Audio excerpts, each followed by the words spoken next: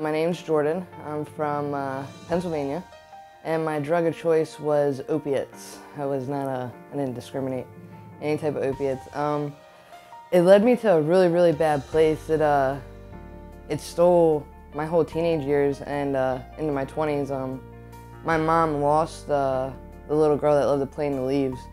Um, I did things that I never thought I would do, and uh, I lost myself.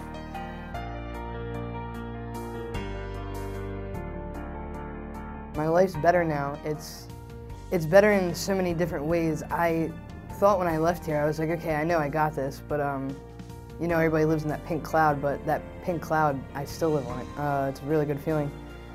I can breathe again. I can feel again. Um, I wake up every day and I'm like, yes, like this is great.